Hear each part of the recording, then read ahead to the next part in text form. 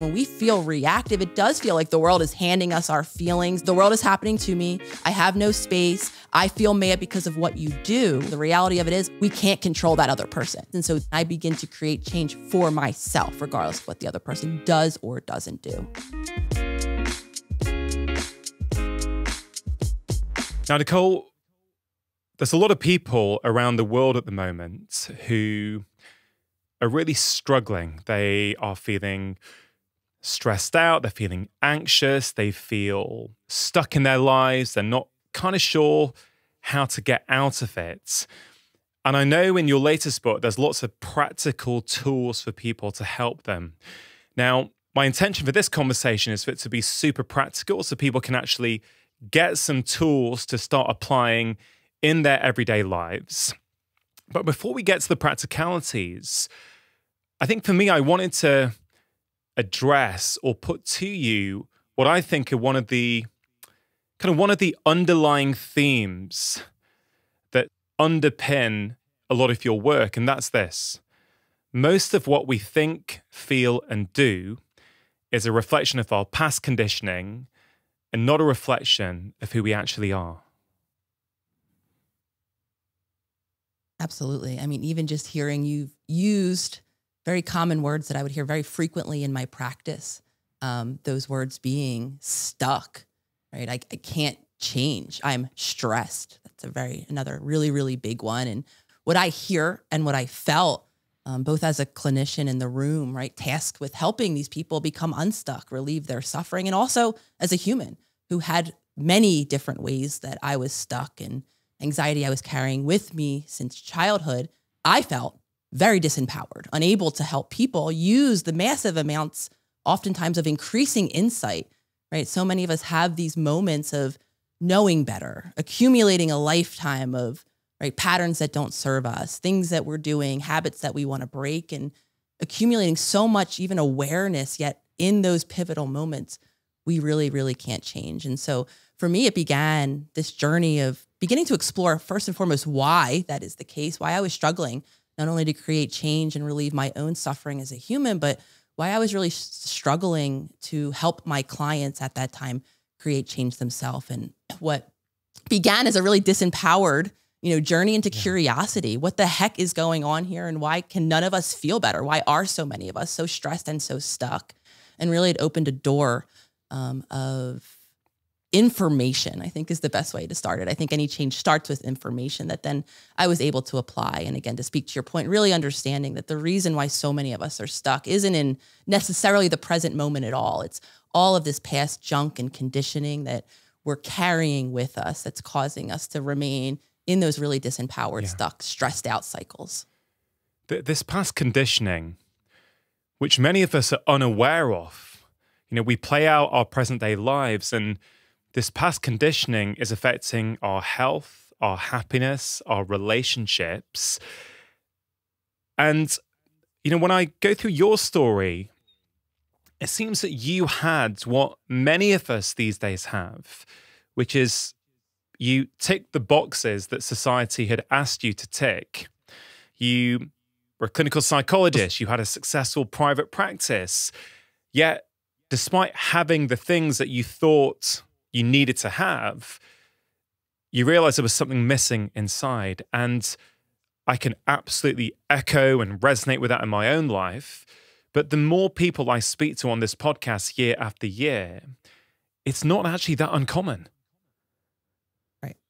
It's it's not that uncommon. And I had the very similar experience of hearing, right, when I would complain, I'm exhausted, I don't feel fulfilled, I don't feel connected, even to speak to your point, despite having checked so many accomplishments that I thought would provide me that fulfillment, um, that life that I was looking for, that connection in particular in my relationships. And when I didn't have that translating into my lived experience, the first thing, if I'm perfectly honest, that I felt, and I don't know how it was for you and anyone listening, is I felt shameful. Mm -hmm. I felt you know, I began to wonder, okay, well, what is wrong with you now, Nicole? There must be something wrong with you that You've created this whole world around you, again, that's being validated by the outside world. And yet I couldn't see how much even that world I created was coming from a point of disconnection. um, there was a service. All of that performing that I've done and accomplishing that I began to do from early, early childhood, for me was my best attempt at keeping myself safely connected to that earliest environment. So, in a very real way, um, it was coming from again a protective. It was playing a protective role instead of really coming from my deeper inner mm. space and whatever that that name is for any listeners, whether it's spirit, soul, essence. Um, I think what's happening quite collectively, and maybe you experienced, and what I know it was happening for me in the moment or in those many moments was that disconnection was really, and all the symptoms of it were really coming to the surface. The reality that I wasn't serving my, and this is the, the yeah. purpose of my new workbook is really the journey to reconnect with that self. So to really simplify it, I was living in a very conditioned way that while I was accumulating a lot of validation from the outside world, again, it was serving a purpose and it wasn't coming from that pure state of just who I was. And for me, then the journey that I began in my first book, How to Do the Work, really illustrated the need for a really comprehensive roadmap um, mm. of this journey and what it could look like, of peeling back all the different layers to speak to your point of the physical habits that are impacting then our mental world, how mm. we feel, and ultimately what we do, how we're showing up. Again, all of the habits and patterns that we continue to to reference yeah. throughout. So for me, it was really in the new workbook, I'm hoping provides that map of a journey of reconnecting with who we really are because I think for so many of us that holds the answers of why we feel so disconnected at minimum and so suffering at I think the the depths of our despair. Yeah, I, well, I think you've definitely done that. I think it is so practical the new workbook that I I fail to see how anyone wouldn't get at least some degree of benefit, if not completely life changing benefits from actually applying the tools and, and practices that you put in there. Um, you know, in your experience, both with yourself and with your clients, I'm interested as to what causes people to wake up, to realize, oh man, I'm reacting here. This is what my mum used to do. This is how I was as a child. And and speaking personally, I feel it's through relationships with other people that we can often see these patterns the most. I think my marriage with my wife has been a incredible mirror for me to look at some of my childhood patterns, but also becoming a father and then observing the way I would parent sometimes and the things that I liked, things I didn't like. So that's certainly been my experience. Relationships have been a huge part of my way in. What have you found for yourself and with your clients? Um, relationships, I think, are are a very common one. Whether it's like you're sharing partners, children, family members, close friends, whatever it might be, because what partners offer, and this goes back to your previous question around kind of this idea of we become really subjective to ourselves. We're all we know, our habits and patterns, whether it's in our internal world or again, like you were, we were just talking about how we're living, the the way we're taking care of our body that's just what we've come to know for many of us for decades as who we are.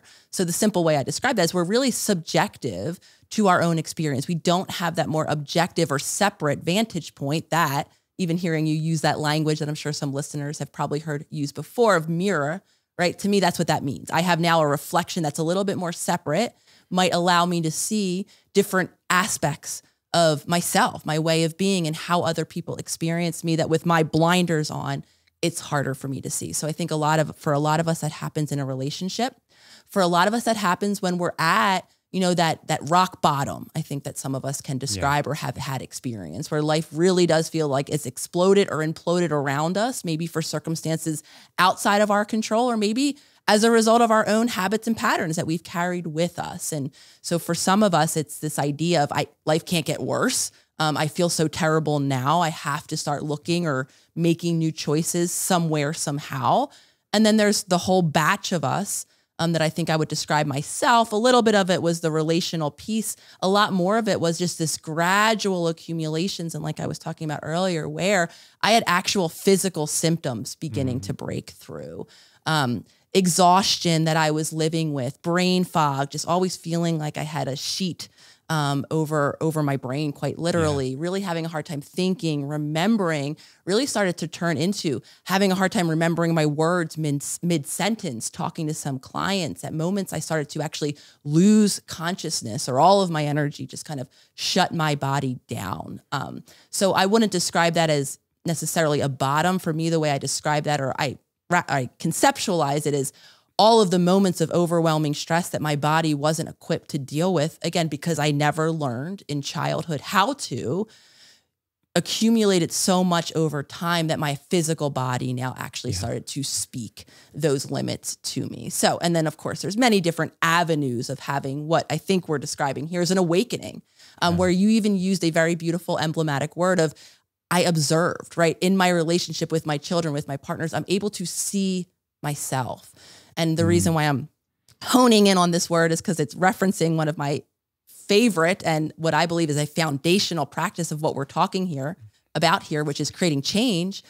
The first step of changing anything is becoming conscious yeah. to what's happening now, to the role I'm playing, maybe in the habits that are keeping me stuck. So, learning how to observe even our habits at minimum. What are the things that I do first thing when my eyes, how do I care for my body when my eyes open? each and every yeah. morning? How do I care for my mental world? How do I relate to others? Right? These are all areas that we have most of us become very habited. And yeah. when we become conscious, simply means when we can observe ourselves, when we can maybe utilize the loved ones, the supported, trusted loved ones, of course, not everyone and anything that has an opinion about us, right? Those people that we trust to give us their feedback, like our loved ones, our partners, our close friends, right? Then that could allow us to use their observation yeah. that's more objective to see or to create space, I should say, for new choices. Because the reason why so many of us are stuck, just to put language to everything we're talking about here, is because of the habits locked into our subconscious mind. They're making the choices for us, which is why we feel so disempowered in our life to create a habit of consciousness means in those moments where that old habit is at the ready to dictate what happens next, we can inhabit that conscious space and say, yes, I feel compelled to scream, yell, you know, uh, do whatever I'm going to do to self harm my body, not take care of my body, whatever it is. And instead, in this moment, I'm going to make a new choice. New choices over time translate to change, to transformation. Yeah. You know what you said there about awareness? Yes, awareness, of course, is one of those critical first steps. But alongside that awareness, you need honesty. You need a real radical honesty with yourself to go, yeah, you know what? I've contributed to what just happened there with my partner. I've contributed to what just went down with my child. And that's hard for people because you know, that sort of honesty, without that, you actually will always remain stuck. You may get some changes, but you'll hit a ceiling very, very quickly. So, at least for me, Nicole, I would say one of the reasons I feel so happy and content these days compared to how I used to is that I feel, yes, I rely on other people, but most of the reliance comes onto myself. Like if something happens, if I get triggered, if I feel reacted to something, if, if a comment bothers me on social media, I'm like, okay, it's not about them, right? Put the mirror up. Why is this bothering you? Because if you were cool with this, that wouldn't bother you. And honestly, that one practice alone has been transformational. And what it does, and I know this is a big theme of your work, it puts me in charge. It means I don't need to be reliant on that person or that thing or that circumstance being a certain way. I now can make some changes to change my perception of it or reveal something within me where I'm not sort of okay or cool. Yes. I'm smiling, um, not only because I'm relating to, to, so much of, of, you know, circumstances in my past life that, you know, I'm hearing you speak about, but there's just, there's so much here. And I think I want to first start by acknowledging or understanding as speaking from my own lived experience of being that what I'll call it is an, is an externalizer, right? This idea that I don't have any control, the outside world greatly impacts me and I become reactive. And the reason why most of us feel like that as I have and uh, the pattern I would see this translating to in my romantic relationships in particular is I would get to a point and I have been a serial monogamist since this moment I started dating when I was 16 years old and had my first boyfriend.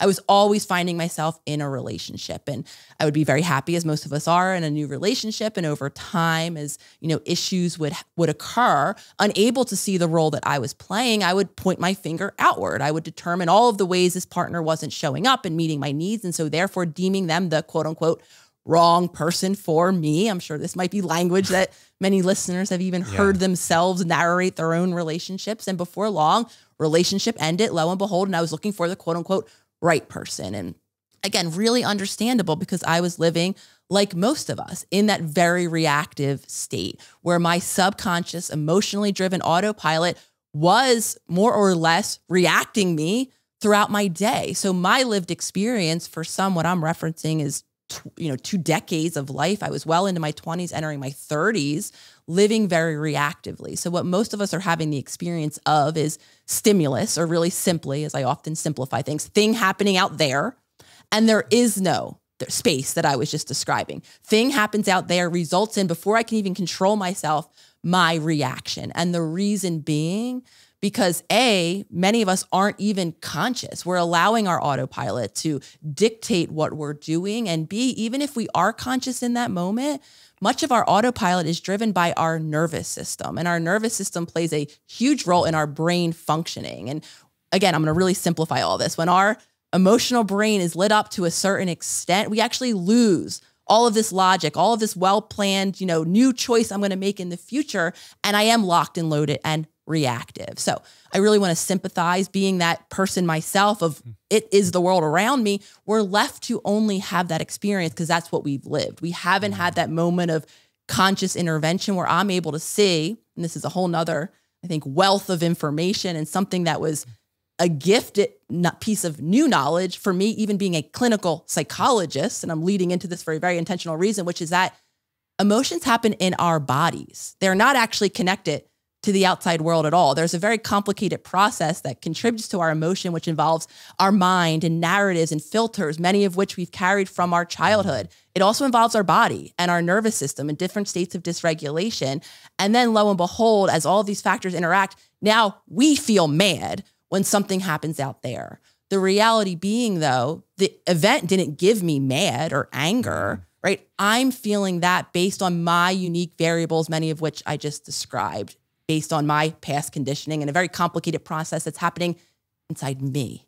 Right. So when we really talk about participating in life, again, when we feel reactive, it does feel like the world is handing us our feelings and we don't have any point or space to make a new choice. And as we become conscious of ourselves and observe that the moment I became mad maybe was activated by the you know text response I didn't get from my partner, mm. using very much a personal example from my own lived experience, right? Yeah my I became mad when I interpreted that lack of response, right? And now this is because I've become conscious. I've observed my internal world. As time is ticking by and I'm get, not getting a response, my mind is starting to narrate. This is what I'm talking about when I'm saying we are so habitual. Our mental world is narrating our life at all times. That's what our human brain des- mm. desires to do to make sense of the world around us.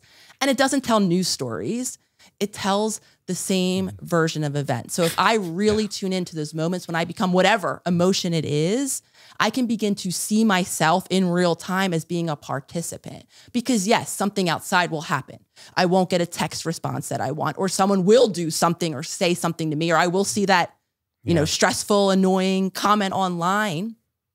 And if I take a moment to pause and become conscious, what I will have the gift of seeing, even though it will be very difficult. When we're talking about radical honesty, we're talking about really coming to terms with, again, mm. how the role we're playing and everything we feel about the stuckness that we've carried for a lifetime. So when I'm being honest with myself, it's really painful to say, oh, Nicole, yes, it was the text that started this chain of events, but then it was how you interpreted the text. And for me, most interpretations led me down some road of how people in my life and all of this connects back to my childhood, aren't considering my needs. So now, of course, if I'm going to filter what's happening in my environment through an indication of how I'm not being loved, I'm going to feel some version of hurt, sad, mm. angry. Right now, I just described a process that, while of course details will be different, feelings will be different, interpretations will be different for everyone listening, what I'm trying to illustrate is how I and mainly my past has played a role in how I feel. So now that I've mm. located myself as a participant, right now I have some choice in the matter. I can shift from being very understandably so the world is happening to me i have no space i feel mad because of what you do and now i can locate everything else and all of the different factors that i might be able to affect change around because the reality of it is also something we tolerate very limitedly as an, a human is we can't control that other person i can't yeah. make her the person my partner whoever it is miraculously text me back when i want the only thing I control is myself. How am I dealing with? How am I interpreting what's happening? And that can I begin to create change for myself, regardless of what the other person does or doesn't do. Now, some people, Nicole, may be thinking at this moment, okay, Nicole, I get that for you, but you don't get my life. In my life, it's different. In my life, my friends do this, this, and this to me. My partner doesn't do this. My kids are like this. You don't get it, right? So, for that person who's listening or watching and that's going on in their mind right now, how would you address them? I would, again, sympathize and share with them how I too was that person. Yeah. Um, for a very yeah. long time, I would read. I was so fascinated with people, you know, being in the fascinated by the mind, you know, quite typically as a clinical psychologist, not surprising, I'm sure, to hear me even state that. I was always like reading about people who would, you know, with their body, superhuman feats of strength, of health, of wellness, with their minds, abilities to create incredible, you know, change and mm. be these like inordinate humans. And I would read those stories and not see it as a point of inspiration or possibility for myself, I very much am imagining like that person listening, this hypothetical person. I'm sure there are many. I would read that and kind of my subconscious would roll its eyes and say, okay, well, that you are able to because and I can't because. Mm. You can because and I can't. I would limit my ability when I would see other people achieving, doing, being in some way that maybe on some level I did desire for myself. And I think what we're we're getting into now is talking about one of the major things that most of us are carrying from the childhood that impact even the filters that I was describing, yeah. right? There's a reason why all of my roads lead back to how I'm not considered, right? All of that again began in childhood and was ingrained in me as a belief. And so many of us have these deep rooted beliefs about ourselves, about what we're capable of or what we're not capable of, that in those moments where we see someone else living in representation, and if it isn't what we believe to be impossibility for ourselves, we will say, and it might not just look like internally rolling our eyes, we might outwardly diminish, tear down, criticize, make that person wrong in some way for how it is that they're right? Living their life. And all of this again comes down to what we believe ourselves to be possible of. And something I want to acknowledge because we're kind of dancing in this category or this yeah. topic of beliefs now is beliefs aren't fact. Beliefs, in my opinion, begin from a thought that has oftentimes was the first assigned meaning a lot for a lot of us at a time when developmentally we didn't have the perspective, the awareness to pull back and objectively know what was happening. So we make very immature assessments of the world around us. And so for when we don't have the opportunity to have a consistent caregiver available to us, we make sense of it based mm. on a lacking in ourself.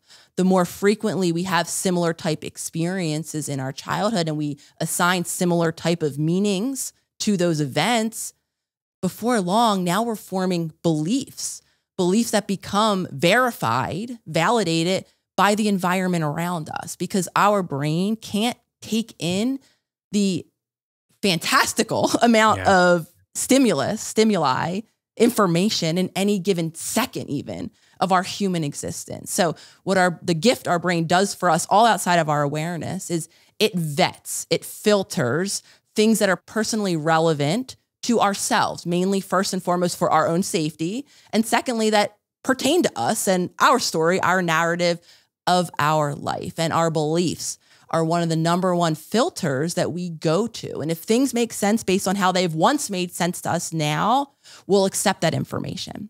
If things don't fit in, so for me, right, going back in time, me coming to believe in absence of having an emotionally available caregiver who was stuck in her own stressful cycle unable to put time, attention, and you know, be emotionally connected to me is where I first, you know, yeah. narrated events when mom wasn't available to care for me emotionally is because I'm not worthy of being considered. Mm. The more that happened over time, I now have a formed belief that I'm a human who's not worthy of being considered. So now I'm left with no option, but in those moments where the text doesn't come, yeah. right, to filter out any possible alternate opposing information that I am actually worthy to this human, I more or less delete that from my existence to continue to confirm how unworthy I am. Yeah. We love to be a self confirming machine of our belief. So, for the many of us who are rolling our subconscious eyes, maybe even combating things that we see possible in somebody else, the reason might be again, not because it's actually an impossibility for you at all.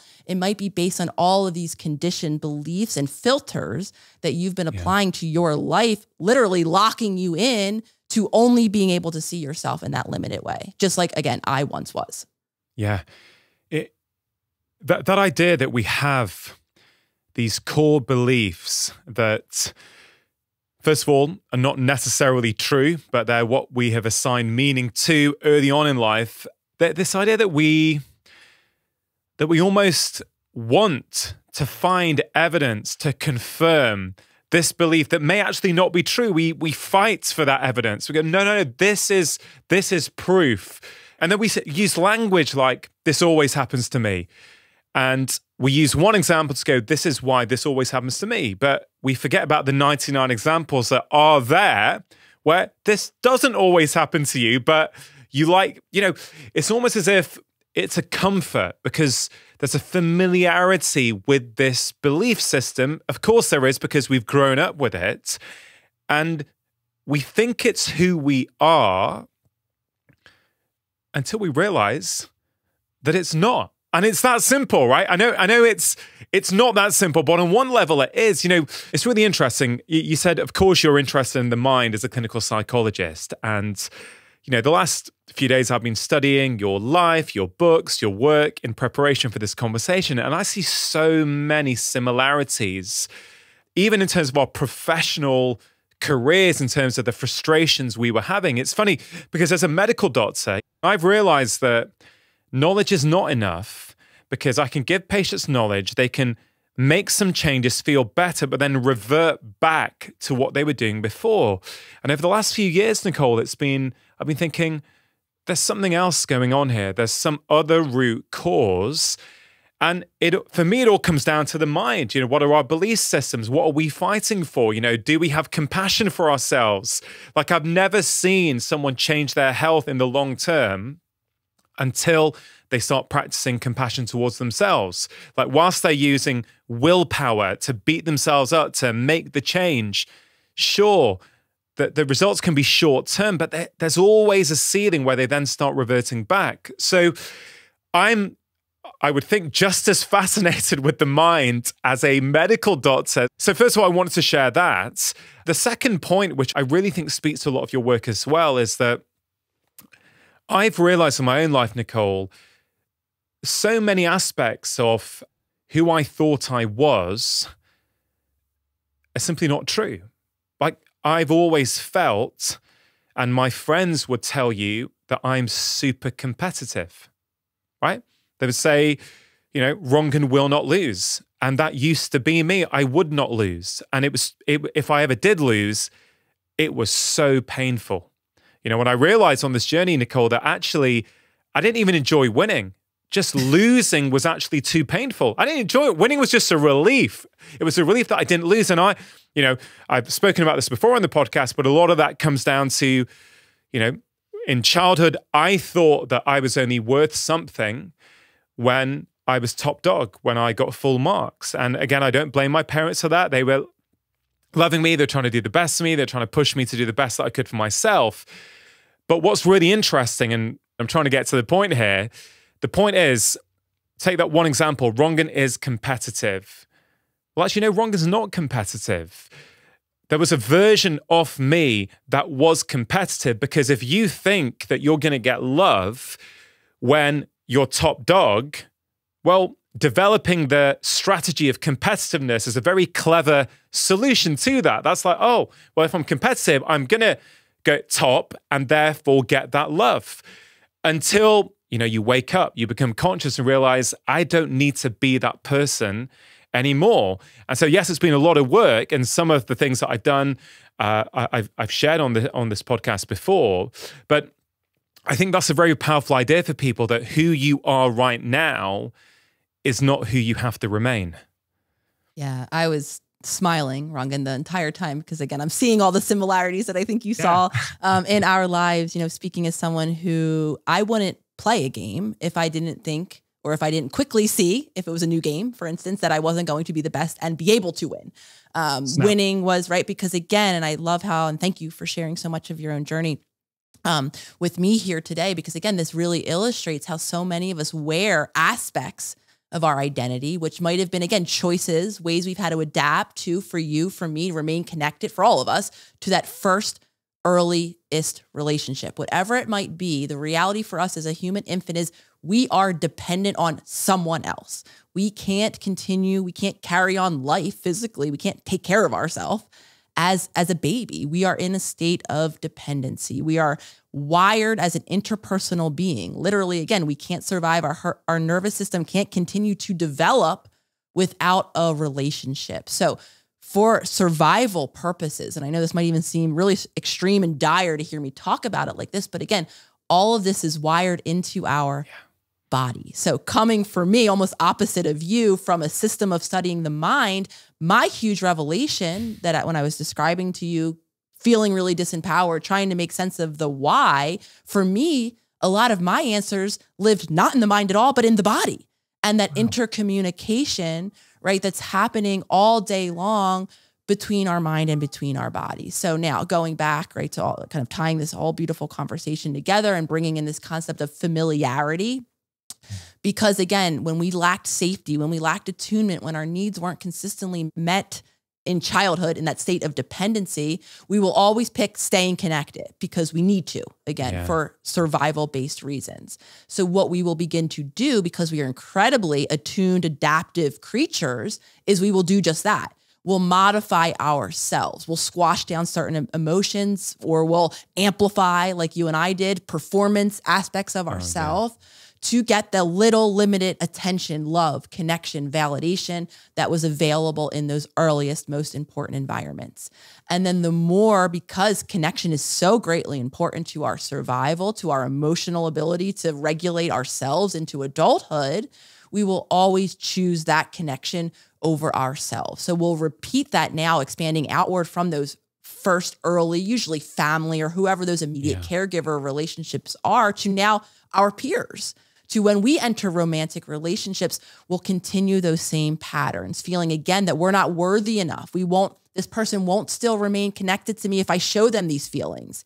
If I lose a game, if I show them that I'm not perfect, there is yeah. a deep rooted belief for many of us that we won't be loved. So we shift into and we keep making those same adaptations again based in that very inaccurate belief that we will lose love and we will lose connection if we don't. And then what some of us do, and this is I think what happened for for me and I don't know for you, but I wrapped that cloak around me. I became the achiever as my full identity. I almost, again, bringing all these concepts beautifully to life, I was so subconscious to the fact that I felt so shameful just being me because again in childhood I didn't have that space. I only really got my attention in my family when I was celebrated right, for the victories I was making. When I brought anything else that could have been stressful, I would only stress and overstressed system entirely. So I showed less and less of me. And the blinders were so strong for me that I only saw myself as this achieving being. It became everything about who I was. And in those moments where I felt it threatened or challenged, when I possibly wasn't yeah. going to win, when I was maybe being told by someone a less than favorable experience of myself when I wasn't the perfect partner, for instance, and I was hearing, mm-hmm. you know, upsetting feedback about how someone else was experiencing me. All of this feels, again, when it's become my identity, as it has for so many of us, these beliefs have become, and these roles, I should say, have become my identity. Now, any sort of feedback feels so threatening to who we are.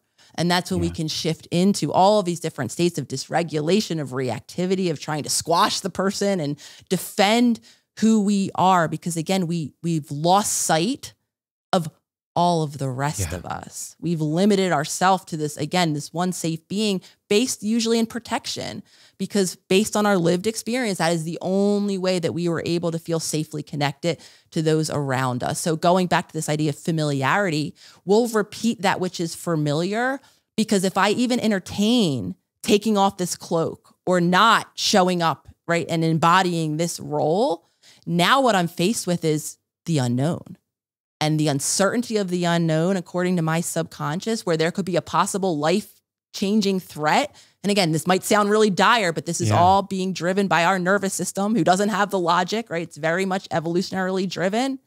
We don't want Yeah. to walk into that unknown space.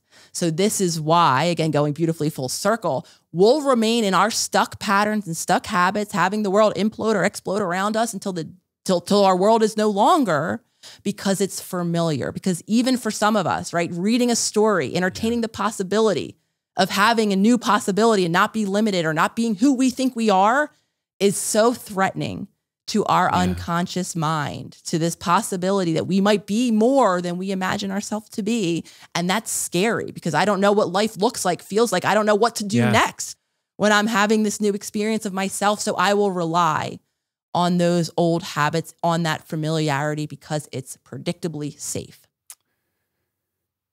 Sorry to interrupt the conversation. We'll be back in just a moment. Now, to live a long and healthy life, it can be really helpful to understand what's going on inside your body. People age at different speeds, and the typical annual blood work doesn't properly evaluate your biological age. But Inside Tracker does. Inside Tracker is a truly personalized nutrition and performance system that's designed to extend your health span and slow down the aging process. Inside Tracker uses your test results to give you personalized recommendations on things that you can actually control, like food, supplements, workouts, and other lifestyle choices. For a limited time, you can get 20% off the entire Inside Tracker store. All you have to do is click on the link in the description box below and use the discount code LIVEMORE. Predictably safe, but much of the time, very constricting and very exhausting. You know that that when you said you wouldn't even um, you wouldn't even play games that you you couldn't very quickly figure out. Yeah, I can I can win at this. Hey, that is that was. Let me be really clear. That is no longer me. That was who I was, but I've chosen to no longer be that person. It's such an awful way to live because you you you close your mind to, you know, I wouldn't play certain sports if I didn't think I could win. I thought, wrong, and how ridiculous is that? That you won't actually participate in something that you might enjoy, might be fun, you just can't be the best at it. And um, it's really liberating when you go, I don't need to cling on to that anymore. I can actually let it go. I can be aware of it. I can choose to do some work to let it go. And this thing about identity that you you mentioned there, and and how we strongly identify with our core beliefs. We think that's who we are. You, there's a beautiful section in your new book where you write about this with some really, really awesome exercises, which I think are going to really, really help people. You said when people kind of try to challenge your identity, often our approach is either to yell and scream or to kind of shut down and avoid. And I read that and I thought, yeah, wow, that that's that's exactly the two things I think I would have done in the past. Um, it's yeah, it was. I, I think I'm pretty sure people hearing this right now, I would, I'd be surprised if someone can't resonate with that particular uh, sentiment. And I, I think we're leaving, and this is, I think, a great place to return to. Um, we're leaving out a, a big part, I think, of this conversation, and possibly a big reason why you can maybe even listen to this podcast, right? Hit stop right now and still not be able to, right? Create Mhm. action in those moments, still have this beautiful awareness that you just shared, and it's still not enough. Still find ourselves screaming, yelling, reacting, or shutting down. And it's, it's, I'm not necessarily, I'm pleased to hear that you resonated with those two descriptors in that workbook, though I'm not surprised because there's a universality in those reactions because they're governed by our body. So the big part, you know, that we're leaving out and coming from the system that you were very much trained in, one of the big reasons why in those moments, right, we're reacting in a very out of control emotional way quite often is because, again, our body has become involved. One of the reasons why no amount of logic, or you could listen to this conversation up until this point a million times over and like mm. have that locked in your awareness that you can do differently. Yet that moment of change or that moment of that new choice presents itself. And lo and behold, it's some hours later and you're shameful again because you didn't do differently. And I referenced this a bit earlier, but I think it begs for a bit more of a conversation now, which is that when our nervous system is activated, when we're feeling threatened by that statement that's now challenging my identity, now my body is involved. Even though, mm. again, there's not, it's not the tiger on the plains, right? That, you know, I think traditionally a lot of us have heard, you know, activates yeah. our fight or flight system. It's that statement that to me has been perceived as a threat to who I think I am. So it could be that comment on social media. Yeah right? That now has activated my nervous system. Because if I'm viewing what you said as a threat to my identity, now my threat system, my body's mm. threat system has literally become activated, which means now, right, that blood is starting to course through my body, my heart rate and my ten- my muscle tension might be increasing.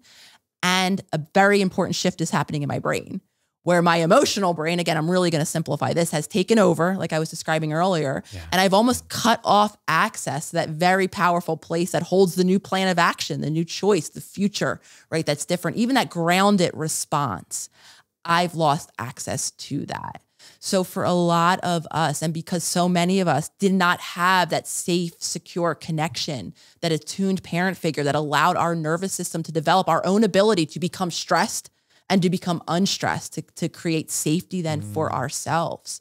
Our nervous system is a hair trigger away from a stress response. It is only that comment and that filter of threat that it takes for now my body to feel so dysregulated in those moments that no amount of logic is going to change what I do, is going to even give me the possibility to make a new choice. This is where all of the daily ways that we're caring for the nervous system that lives in our physical body, the nutrients that hopeful, hopefully nutrient dense foods that we have access to, the sleep, the rest we're giving our body, the slight mm. movement and removing of tension uh, through our musculature by stretching, yeah. by any sort of gentle movements of our body's muscles, right? The breath work that we're maybe doing to help regulate or learn how to intentionally regulate our breath. Our breath is one of the major indicators that our nervous system response is getting activated. The quicker we're breathing or the more shallow we're breathing, the more likely our nervous system is indicating there's a threat happening.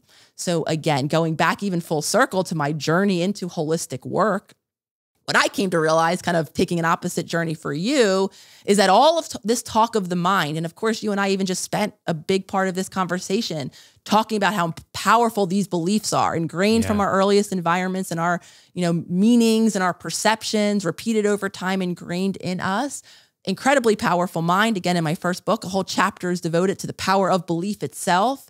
Yet yeah. for my journey, for my program, we left out the whole of the body, all of the messages, again, that my nervous system might be reacting to, messages of safety or lacking of safety that come from my childhood environments. Yeah. Dysregulation, maybe I'm the person as I once was.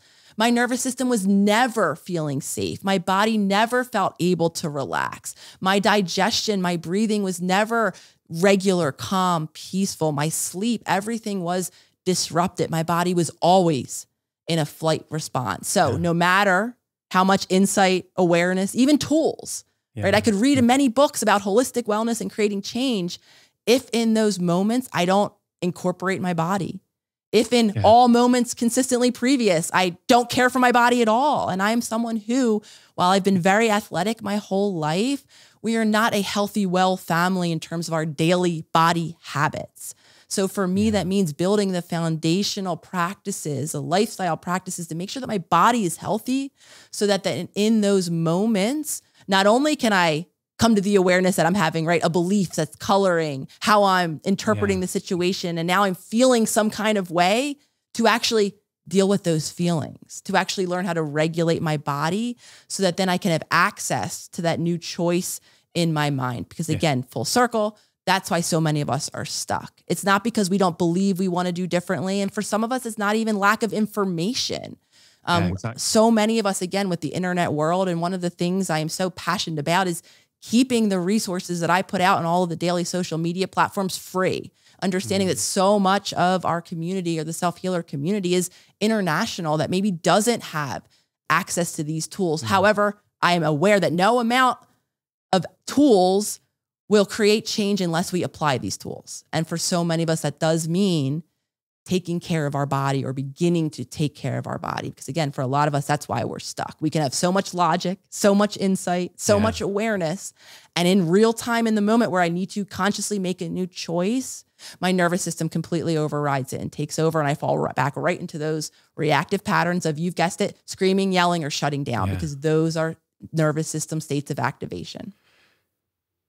You know, I just love the kind of mirroring whereby you through psychology have come to the body and me through medicine has ended up at the mind. It's it's it's just beautiful to hear that, you know, on two different sides of the Atlantic, two different schools of training, but sort of coming somewhere in the middle to recognize that actually they're both important and actually even separating them out on one level is I guess, problematic on one level. I guess it's where we are these days. We have to in order to get the message across.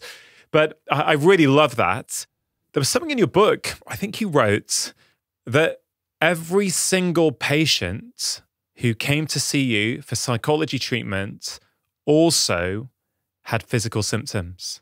And I think that just speaks to exactly what you've just been talking about. Yes, absolutely. And and I'll speak um, from a personal note outside of seeing that very real pattern with numerous, you know, medical type diagnoses, often of chronic ailments. Mm. Um, kind of being tacked on to, and for some of the clients, multiple even psychiatric or, or mental illness diagnoses as well, and saw very similar in myself and even more so in my mom. Um, a lot mm. of my journey, I was actually talking to my dad yesterday of, you know, how much of my own journey and witnessing my mom in particular struggle with chronic illness for the entirety of, of my life. My mom had me when she was 42. Um, I had an older sister who was 15 years older than me and an older brother who was 18 years older than me. And by that time in her life, um, she was pretty chronically ill with an undiagnosable, though we did attempt, you know, pretty consistently seeking the cause, the treatment, the, you know, way to help relieve my mom's very clear suffering, spent a lot of time in bed, debilitated with mm. chronic pain um, in particular, and living witness to that. Um, and, you know, very much considering though my mom only had a couple of handful of psychologist therapy type appointments later in life, usually with the family involved. Yeah. And I was in family therapy with them um, after a period of no contact, though she didn't officially have a diagnosis. But being a psychologist, I for, know for sure my mom had a lot of anxiety. Um, and a lot of trauma in her past as well. So my mom was very much a very personal lived example of that comorbidity. And for me, the endless searching um, and suffering that I'll speak personally comes along with watching someone that you love not being able to find right that one cause and trying to you know seek relief. And i think the reason and the answer lays in exactly what we're talking about here. My mom very much going down the traditional system the silo approach right? If if possibly it's something wrong you know with my mom's um, you know, autoimmune, then she's at an autoimmune doctor. And then maybe it's her joint. So now you're at a joint mm. doctor. And again, whether or not those doctors are talking to each other. And like I said, there was really no mental wellness or, you know, emotional yeah. treatment anywhere into the more recent past for my mom. So again, this silo approach, I think, and not seeing my mom or any human as an integrated system, how I understand what was happening with my mom is very much what was happening and beginning to happen in my own life deep rooted yeah. trauma that I imagine for for my mom included was passed on from in in in utero from yeah. her own mom carrying her living you know really in a poverty stricken um, uh, environment in upstate Pennsylvania, having a father who was very misattuned, um, having possibly some severely traumatic incidents that she wasn't really clear about happening in her teenage years, right? So for me, I hear trauma, trauma, trauma, dysregulation, stress um, in the body, imbalances that are causing all of these, again, comorbidities, mm-hmm. a lot of diagnoses, and not yet relief. There was no one thing that ever helped my mom to feel better. And again, so for me, what I was sharing with my dad just yesterday was how not only did I see, you know, that breakthrough of symptoms that I was describing beginning to faint, um, I saw myself on the cusp of a choice point, right? Mm-hmm. Entering the same sort of system, endlessly seeking, just like my mom, for the one cause to treat the symptom.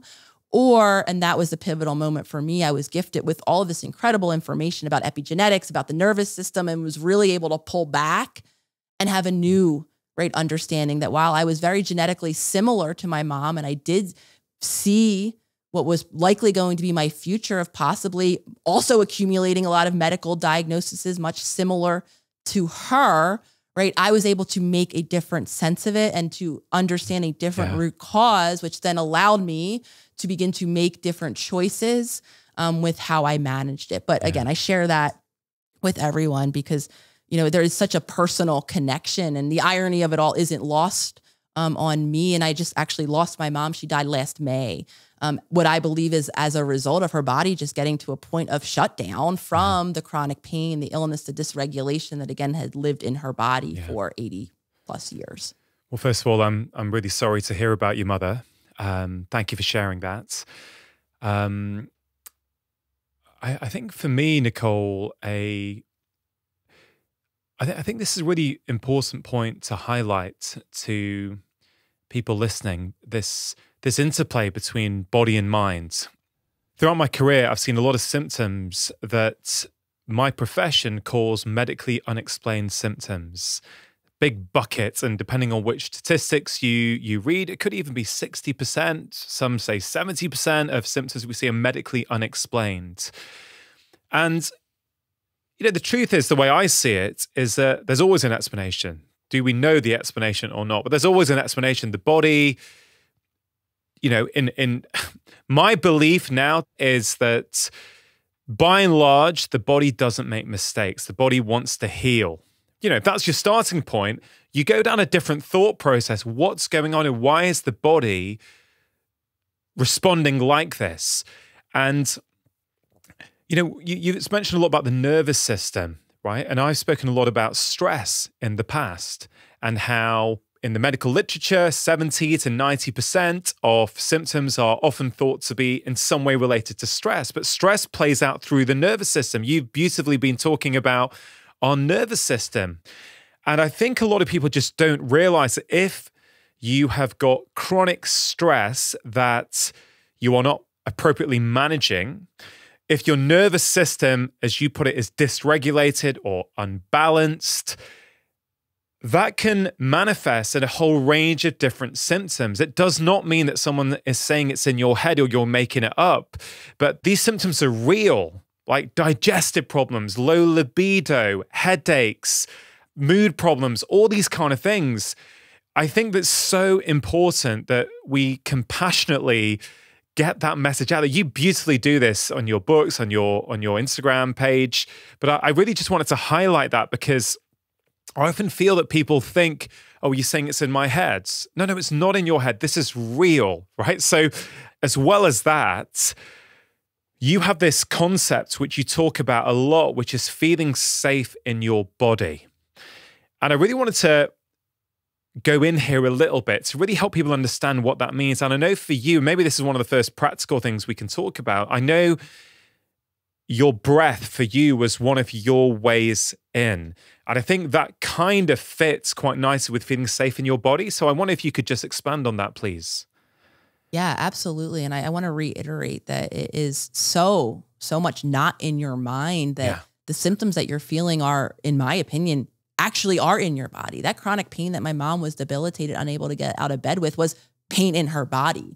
Um, it did translate through the physical organ right mm. that is mm. our whole system our physical our physical person so absolutely reiterating um, and going back again to stress even i think one of the beginning things we talked about on this on this podcast and you referenced stress um, and stuck and a couple other things. And right so stress absolutely um, imprints our biology. And that's what i was referencing when i was mm. talking about my mom coming from you know a poverty stricken under resourced even just environment um, where she was being housed in utero by her parents.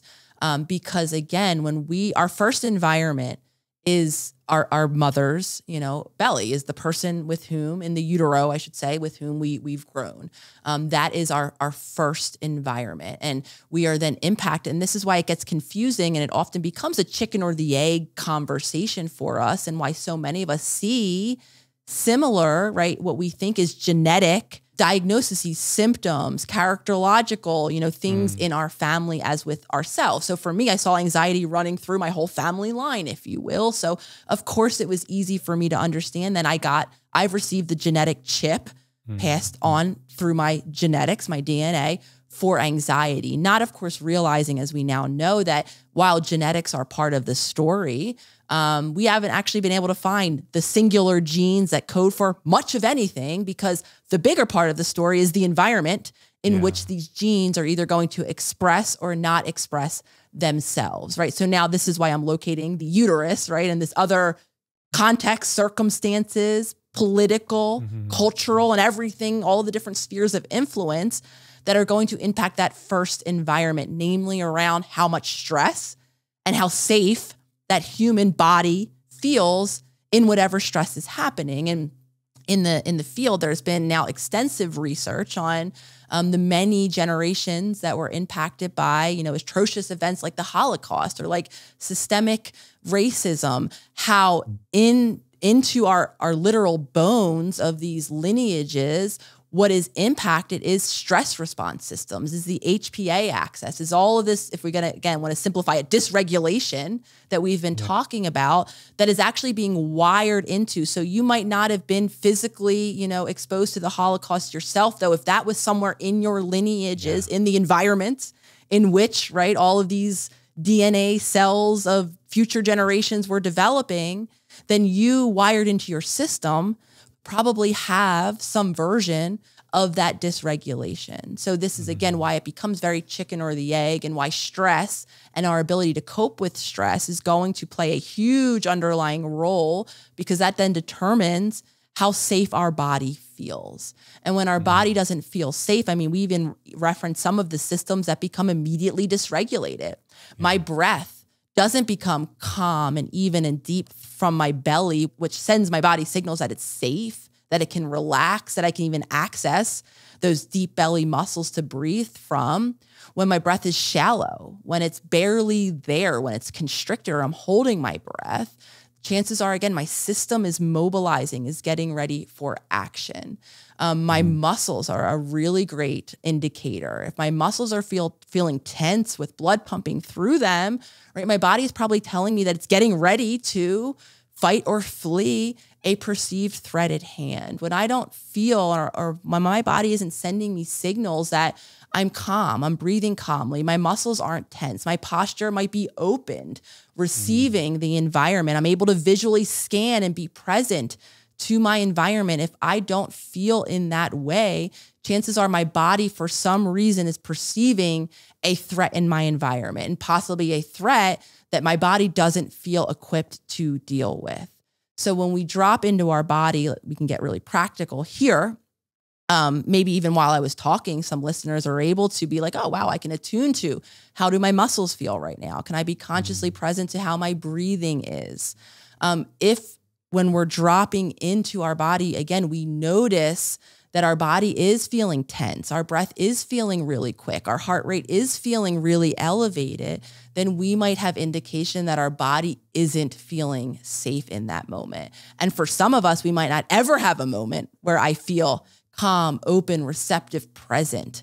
And again, for me, that indicates as I once never had those moments that chances are, again, because your body is not yet feeling safe. And this is, again, where we can begin to talk about intentional practices to create safety with the breath, going back to that, being one of them. And the reason why, for me, my breath became my back pocket practice was twofold. When I dropped into my body, what I had noticed was I had been so overwhelmed by stress for so long to the extent that fighting, you know, becoming combative, fleeing, trying to avoid the stress was no longer adequate enough. And I entered the final stage of nervous system state, which is a shutdown. Yeah. So when I was describing losing consciousness, being really numb, being disconnected, I often describe it as my spaceship, where I was living almost at a distance from myself. Probably no surprise. How was I describing me and all my relationships, right? I'm disconnected. You're the problem. We're not close. I don't have the depth that I want. Again, not understanding that the reason I didn't have the depth that I wanted was because I felt not safe at all in my body, so much so that I decided to live the majority of my life and I got very good at it. Talking to me, you might not even know how disconnected I was because my habits, right? Just talking, just performing, just overriding how I felt were so strong that I was able to quite literally live my life from that automaton, disconnected state. So, as I came to that awareness, I discovered how disconnected I was from my body. And I realized that, well, to be able to reconnect with my body, my body has to feel safe. And what my body felt like was a tense, constricted, hunched over, my posture, even from years of being so tense, mm-hmm. my upper back and my neck muscles in particular, I even started to get a hunched over posture where I just saw evidence, if I looked at myself in the mirror, of all of this energetic constriction, of all of this, right? Threat of all of this nervous system reaction that I had been living in. So, coming to that awareness, I discovered how unsafe my body felt. Of course, I wasn't going to want to check back in. My muscles felt tense. I didn't feel like it was a, a safe mm. place. It was sending me all of the signals that it wasn't.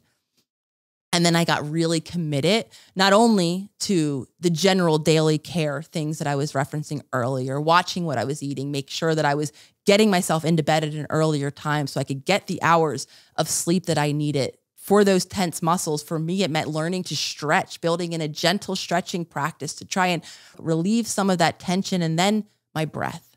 My mm. breath is something that all of us have that we carry around with us day in and day out. And learning yeah. how to intentionally, right, teach my body how to send signals of safety through my breath. So for me, I learned how to teach my body how to do deep belly breathing, that deep, calm, even breathing that will send that signal that my body is safe enough to inhabit. And I share this because it was really hard in the beginning. All of my posture, all of that tension. And often when we do talk about, or in the circle, my membership, when we do breath work month and we talk about the deep belly breath, I'll hear often, very similar to my experience, it's hard. I can't breathe from my belly. I'm so hunched over, my posture, it's, it's difficult. Um, I made a daily commitment to practice by laying down, putting a hand on my belly, and just making the commitment before I got out, out of bed every morning to take mm. five deep belly breaths. Now, that did two things for me. First, that taught my body and was five moments of breathing where my body was getting a new signal that it was calm, that it was peaceful, that it was safe. And it also primed my awareness of the tool because the first thing and the thing I like to reiterate all of the time whenever I'm talking about these tools, whatever it might be, breath work, journaling, they are not magic. It is not one and done, right? Yeah. Those five breaths in the morning are helpful. Though if I'm not calming my body down, regulating myself throughout the day, especially as I start to feel myself fall into a reaction reactive state, then those deep belly breaths really didn't help me right yeah. in the moments where I really need to change. So reminding myself then that practice, I built a foundation. I began with that as a small daily promise because none of us, again, like the unfamiliarity, the threat, yeah. the possibility of threat that comes with newness, I will often talk about not making an intention for me. It wasn't going to be a 30 minute breath work practice because I had never practiced breath work. So making a promise that seems so small that it can be manageable. So I got really consistent with those five breaths every morning until I started to feel confident that I knew how to breathe from my belly and that I could then take that tool with me. Yeah. And then I built on that foundation because my breath was something that I could sit here if I'm even talking to you and I start to feel myself be activated, right? I'm talking about something emotional and I'm starting to yeah. feel my heart rate get elevated or I'm with my partner and I'm starting to feel myself get agitated. I want to scream and yell. Right now, those are the moments where no one even has to know necessarily that I'm intentionally yeah. and internally regulating myself, helping myself stay grounded in this moment so that I can retain the choice for what happens next. So for me, the breath was a go to, like I said, because it was something I could carry along with me and I could use in those moments, both consistently all the time, because we need, again, that foundational practice so that then I can in those moments in real time create that regulation because that's the difference between, oh, I meant to do that thing, but I was too emotional and now I'm screaming and yelling too. Okay, I can stay calm enough and grounded enough because I'm regulated enough that I can remember to make that new choice and I can do it, even though it's going to be uncomfortable. Yeah, thank you for sharing all that. I mean, there's kind of three key things there for me, which really, really landed, which I've also found to be incredibly helpful personally and professionally with patients. First thing is that you started really small.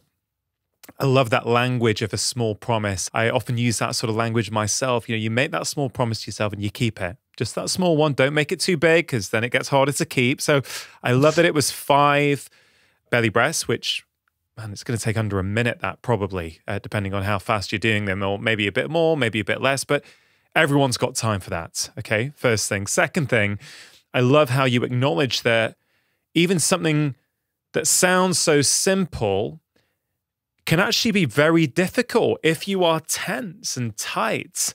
Actually, if you've never ever breathed all the way down into your lower abdomen, it can be am I doing it right? I feel there's an obstruction there, right? So I, I love the fact that you acknowledge that because I think sometimes people will hear these conversations or see things on Instagram and go, yeah, but I know they said it's really easy, but I, I am really struggling to do this basic thing. So I, I really appreciate you highlighting that.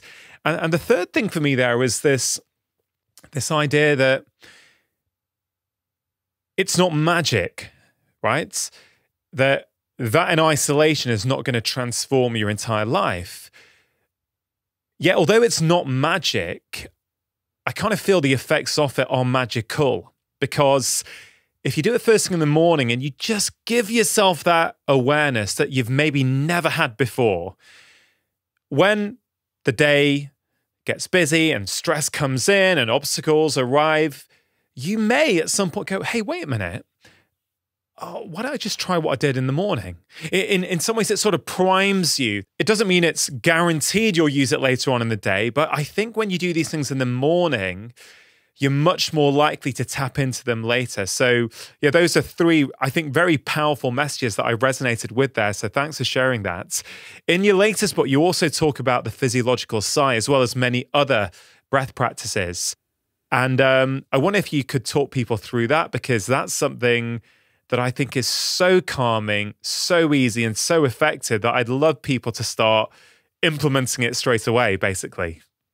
Yeah, absolutely. And again, there's there's a ton in the workbook. I do outline um, several. My my intention is always quick and easy, right? Because to speak to the point, we really do want to set ourselves up to use these right as a lifestyle tool to have those moments of memory. Because again, while practices and creating and carving out separate time for practices is absolutely can be the foundation of creating change. And for a lot of us doing something in that container of my private moment in the room with just myself learning how to belly breathe helps me develop the confidence. There's something else about small daily promises because so many of us have set so many intentions to change we begin to feel really disempowered yeah. and unable to change. We begin to doubt ourselves. And something you said earlier, I just want to touch back on before we go into the sigh is you talked about self-love not feeling worthy not like kind of all of that conversation where it's not just enough again to have the idea that i want to do better if i don't feel right that i'm worthy of doing better or confident that i'm worthy of doing better that i can even make a new choice it's going to be really hard for me to do that and in my opinion, that empowerment comes when we begin to show ourselves a new alignment between intention and daily action. Because a lifetime of setting intentions that we don't act upon have led us to have that belief that we can't, that we're not confident, that it again is reserved for someone else. So while it feels like a huge, um, even like canyon to jump over if we don't yet feel confident or empowered to make change, chances are it's because, again, you've been setting intentions that haven't aligned within action. And the way out of that to rebuild is by those small daily promises. That It might seem so small that you are rolling your eyes, but psychologically over time and psychologically over time, you're showing yourself that alignment. You're showing yourself mm-hmm. intentions kept by actions. And that will then translate to a bit of confidence, a bit of empowerment, where you can become the person that says, you know what, I do keep the promises I make to myself, even when they're difficult. So, one of the reasons why I'm always doing bite-sized practices. And again, yeah. there's several different types of breath work that you can see in the workbook. There's a million different types. Um, I started out on YouTube University, um, just Googling different simple, easy, again, because I have seen breathwork practices can be upwards of 30 minutes, an hour. Yeah. You can get a breathwork practitioner, um, as I've seen kind of advertised now to help us through. And again, for a lot of us who've never done that, that feels so big, so overwhelming. Mm. That might not be the small daily promise. So it might be one of these more bite sized practices um, of breath work that feel more approachable and that make us more likely to be able to then integrate them because it's about the habit of mm. using them, the consistency of making that choice. So one of them um, is a practice of a psychological sigh, it is called, or physiological, excuse me, sigh, it is called. And essentially, sighing, um, I think a lot too, or I, I watch animals a lot. And there's a lot that is similar in terms of our yeah. nervous system between ourselves and animals and how animals function and different ways that we generally, or our body, something you said earlier, how wise our body is. I can't, I couldn't agree more. Like our body is so much wisdom. It is a self regulating machine. It has ways, it naturally releases tension for us. Yeah. And I bring up animals because I think many of us might have pets, um, dogs included. And one of the things I'm always fascinated is and when an animal becomes activated or there's a lot of energy or stimulated or stressed to release the stress. This is somewhat connected to the sigh, but a little different. But I think it's a, a good kind of I, illustration. I love it. I love it. They'll begin to shake, usually their legs, their limbs. And when, when that is happening, what it is doing is it's a release valve in a sense for that built up energy, whether it's the excitement, your dog doing the, I think they heard it's called the zoomies around the room. And there's a lot of, you know, energy that got agitated in, in the dog in the moment, or maybe it had a stressful, there was a loud bang outside, maybe thunder, and then it releases tension.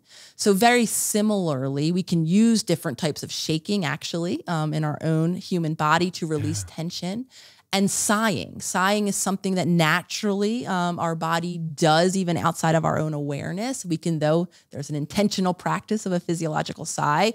And the sigh, again, is a natural way that generally, that kind of self regulating machine that is our body, that we're both acknowledging, our body does in and of itself outside of our awareness to calm our energy. And of course, we can intentionally um, practice a physiological sigh by, we can just do that right now we just take a moment and we can tune in and of course understanding that there's so many different ways in which we consume our podcast. Um, if anyone is you know feeling safe and settled into their seat to their bed and to wherever they are listening to this um, sometimes if we're kind of working with our body i like to personally close my eyes maybe put a hand on my chest on my thighs wherever it's comfortable just to ground me in the fact that i'm in a body right now and again, if we feel safe for me, I like to close my eyes, really turning my attention away from the very distracting external world and turning my attention into my physical body. Maybe before we even get started doing a quick sigh, we can just tune in. Uh, maybe if you did make a choice to put a hand on your chest and on your belly, we can just do a little quick self assessment um, around some of the concepts we were just talking about. And I'm just going to get quiet just for one second while you just turn your attention and see if you could just try to feel your physical body breathing. And if you did choose to put your hands on your chest and a hand on your belly, maybe use that as a marker for where your breath may be coming from. Is it coming from shallow in your chest? Can you even feel it? Is it coming from shallow in your chest or is it coming from even deep in your belly. So I'm just going to fall quiet just for one second. We can do that quick assessment.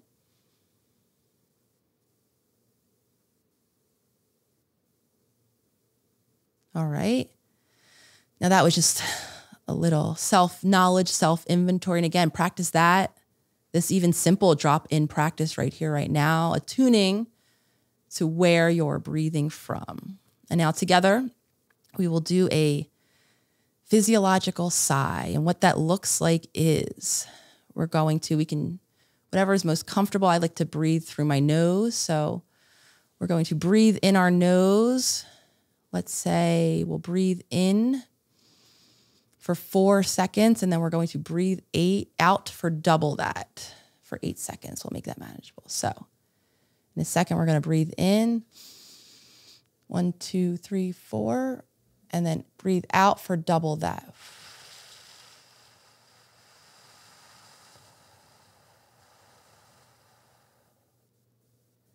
Letting all of that air out. And again, you can play around a second time. Maybe we want to breathe in for three if that felt long, breathing out for six. Really, the focus here is elongating, sighing, all of that breath out of your body. You can experiment with that for a bit. Breathing in and then out, sighing it all for double the amount of time you've chosen, giving you some individual choice in this. Then, of course, taking a moment to drop in with your body, noticing shifts in tension, release, um, and continuing this practice. I mean, I don't want to take up all too much time, but that is a general just again, a self assessment, yeah. drop into our body, attune to how it is that we're breathing.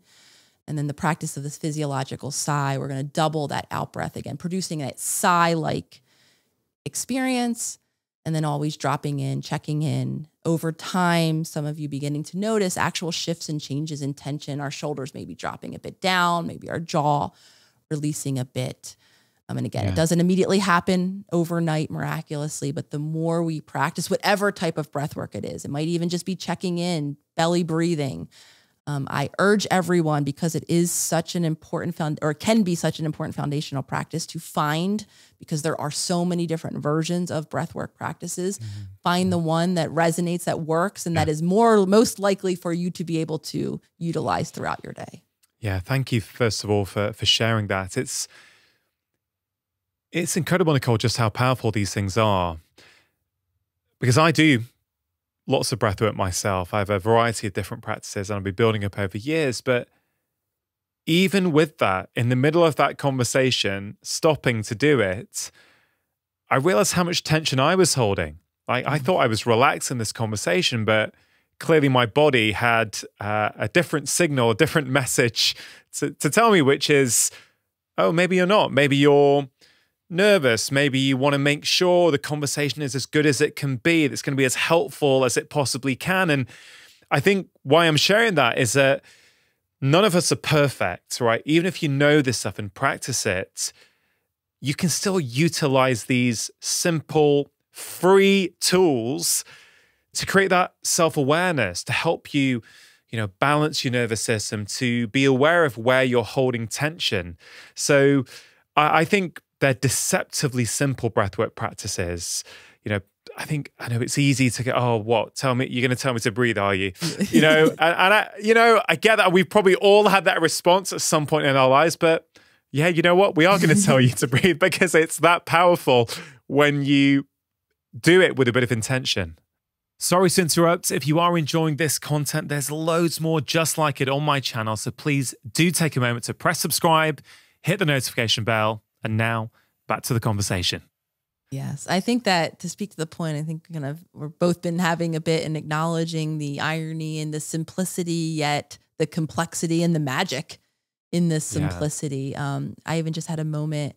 We two months ago in our membership, uh, the Self Healer Circle, we were talking about very much applying to this conversation something that we call an empowerment pause which is in that moment of time right before i'm getting ready to react just hitting literally a pause maybe just taking that one deep breath before i respond or react or you know do whatever it is that i'm going to do. And so um, oftentimes we roll out content for a month and many members will begin to engage in that content and we'll start to then hear. And what we've been hearing in the more recent weeks in the portal and it's been very much reports of that magic. Something so simple, even just like taking a second before I instinctively pick up that phone call that I always pick up, taking a second before I go to say the thing I always say in that moment.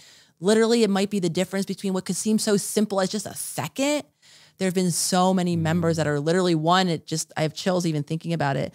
Um, they report it that their child, I think it was their son, has been looking at them recently, acknowledging, saying, like, who is this mom? Like even something oh. so uh-huh. simple as a pause is so palpable for even, and I share that about the child acknowledging for even those around us, right? It can be, and that could be something that we just, you know, roll our eyes about. Oh, breath work. Oh, just, oh, what do you mean? Just letting it ring three times before I answer? Well, yeah, because that might yeah. be the difference of not answering. As simple as that is, there is so much magic. Um, and what I'm hearing and why I'm sharing these, you know, reports back from members and children and seeing is literally that that magic. And I know living that experience, it is magic. When you begin, when you go from feeling victim, reactive, out of control, and shameful as a result of it, to even one moment even if I still did the thing that I instinctively, you know, didn't want to do, if I was conscious, right, yeah. that just feels like literally a magical victory. And it is because what I am so, why I am so passionate. And I loved how even you're like, oh, I dropped into my body. And for sometimes it's even excitement.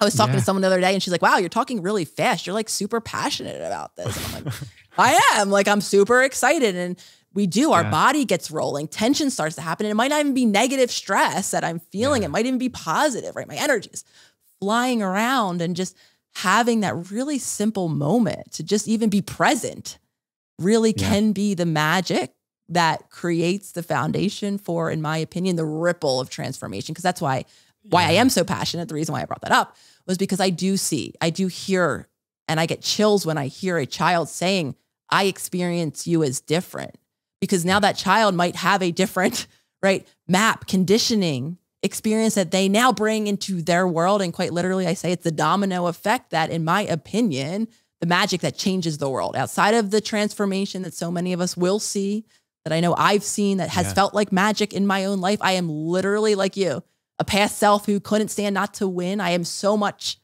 identified yeah. with so much more than that now. I feel my own magic. And in my opinion, we translate our magic and our magic changes the world. And it's these really small moments that we can roll our eyes, yeah. that we can, you know, forget about again because we're so dysregulated. And if we can begin to first become conscious, to create that footing, that grounding in that here now, then over time we can gift ourselves with these magic making yeah. choices. I mean, I just love it. I'm also so passionate about this, Nicole. And, you know, this ripple effect, it's, it's amazing how this small thing will build over time. So it may be that you start off with that breath. It may be that when the phone rings, instead of three times, you wait for that fourth ring before you pick up.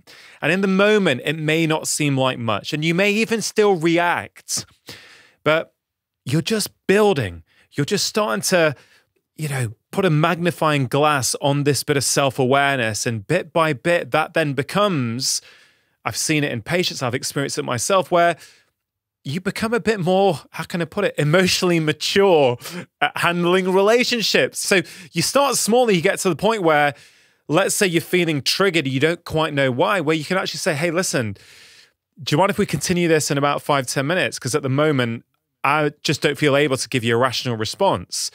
Like 10 years ago, I, I, I, there's no way I could have said something like that. But over time, you can go, actually, you know what? Something's bothering me here. I know I'm not calm. Let me just, you know, to use your language, self regulate. Let me go do something to calm down. So let's have a productive conversation a little bit later. And it's, it, it all starts with these kind of small steps. And there, there's a there's a phrase in your new workbook that you you talk about. Um, I think it's in the section on resilience about is it a window of tolerance? that you write about, which I really, really love. And I wonder if it's a good part of the conversation to bring that up because I kind of feel that it, it speaks to what we've just been talking about. 100%. And I will speak being very honest and acknowledging that I still have my moments of emotional reactivity or emotional immaturity. And I want to define, first and foremost, for everyone who's like, oh, emotional immaturity. I would never, right? I am in my 40s, 50s, 60s, 70s, 80s, whatever it might be. How could I be emotionally immature? emotional immaturity, as my definition, at least as I apply it to, is that state of developmental ability around particularly what we're talking about here, emotional, right? Our emotional coping skills, are mm-hmm. tools. And when we were talking earlier, what I said is, I'm not a magic mind reader that you were able to so resonate with those different ways screaming, yelling, right? Icing. I don't talk to you. I take my toys out of the sandbox and I don't, you know, I give you the silent treatment. I wasn't a, a mind reader to know, you know, why, what that it was that for you. It's because, again, there's so much universal. Yeah. You know, it is a very childlike way And many of us, and I still have moments where I revert back Yeah.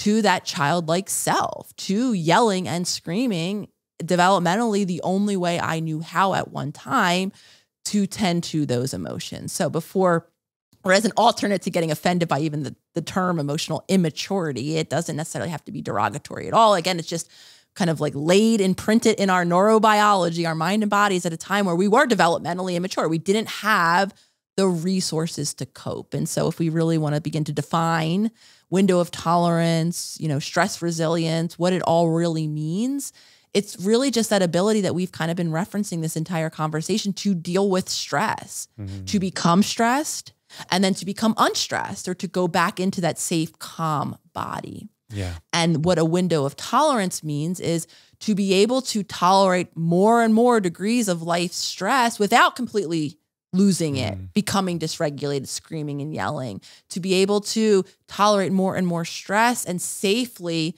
continue to respond, which might be the best choice many of us can make in that moment, which is to remove ourselves before right? We become overreactive because this is applying everything we've been talking about.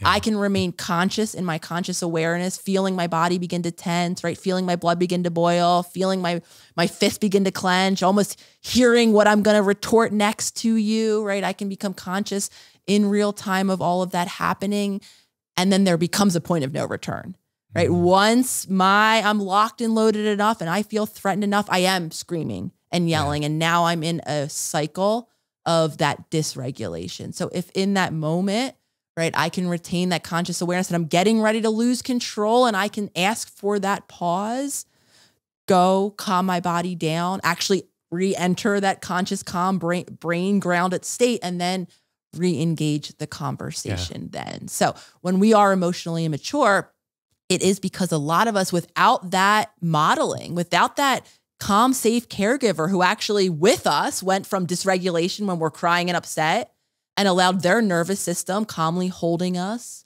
bringing us back down to Mhm. safety if that didn't happen then consistently enough we will as we've always done like we've been talking about adapt Yeah. we will we will create the way to make ourselves safe by screaming by yelling by icing maybe all that we saw our caregivers do and we adopt oftentimes either what we see done or the only strategy that can fit for us or keep us Yeah. safe in that system so again we become and oftentimes it's in moments that when we become dysregulated that we fall back and we rely on those older more emotionally immature coping skills so as far as i see it i'm going to make a really big global statement here I have met very few adults who have a wide window of tolerance who are able to deal with the natural stress. And this goes all, all Yeah. back to what we were talking about emotions as well.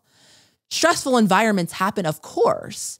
Our ability to tolerate the stress, how can we mm. cope with the stress, is going to impact how safe I feel and how I, you know, embody my life in that moment more so than the environment. This is the example where we can have two individuals, maybe one who had a safe, attuned caregiver who mm. has a wider window of tolerance, which just means that they can deal with more and more stress. So living the same moment as someone who didn't have that attuned caregiver who can't deal with stress, that moment's going to land differently. Same stress outside for both of those humans mm-hmm. because one's going to feel more confident and capable and have had the experience of their body becoming Yeah. dysregulated and safely learning how to calm itself down without it imploding or exploding.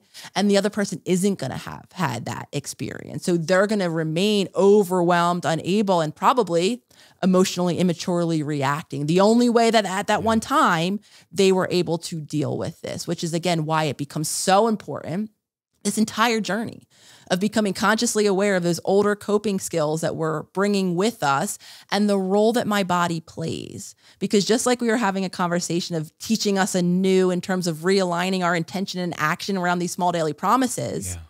to teach ourselves confidence in our ability to deal with our emotions happens in those moments happens as we become consciously aware of dysregulation and as we make those new choices not to scream or yell this time to remove ourselves to separate maybe to do some deep belly breathing maybe to ask directly for support. I'm feeling a bit overwhelmed by now. Can we go take a walk? Can we calm mm-hmm. down together if we do have that safe supportive individual? Yeah. now, the more consistently we do that, what we're actually doing is we're widening our window and teaching our self confidence that we can tolerate and deal with our emotions so that then over time we become less likely to rely on those emotionally immature even though I still have my moments. Yeah. If I'm not sleeping well, if I'm not caring for my body well, if I'm too stressed, I might still scream, yell, or silent treatment you, my favorite go to things to do.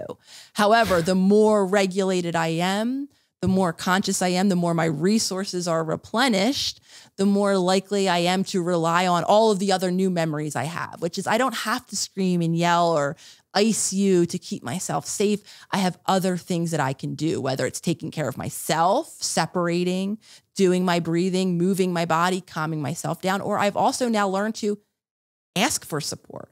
To Yeah. allow support that I never had in, to learn now how to co regulate or come back Yeah. to calm with that other person. So, again, I want to acknowledge all of Yeah. the other emotionally immature moments that many of us will continue to live. Again, Yeah. it's not that magic light switch. We don't have all this information now. Boop, emotional immaturity goes away. We know how to tolerate and deal with our emotions. We have a wide window of stress tolerance. Absolutely not. Again, this is why holistically we have to become Yeah. conscious, see how dysregulated we are, and be a participant in those moments so that we can actually teach our body how to go from a little more stress back into calm and then a little more and a little more. I really appreciate you sharing that you still have those moments. Me too. And I I think, you know, people will look at you, Nicole, with your millions of followers on Instagram and your expertise in this area. And they may start making the assumption that actually Nicole never reacts. She's totally calm. She's got the best relationship. She's to- she sleeps eight hours a night. she's coming to a book tour, but she's going to make sure she's got enough time to look after herself. But actually, you're human like the rest of us. And it's about progress, isn't it? It's not about perfection, it's about progress. And I, I think that's so important that these patterns are so deeply rooted in us that even if we think we're making progress, we possibly, we probably are making progress, but sometimes we can revert back. And that doesn't mean that the last five years of therapy or the last five years of breath work or journaling or, you know, whatever it might be that you're using to help you, it doesn't mean they're wasted. It just means there's more work to do, right? And there's it's it, it's a journey. And and I think I think you sharing that I think is really, really powerful. Yeah, of course. And I would even want to challenge um, what some of us do label as setback.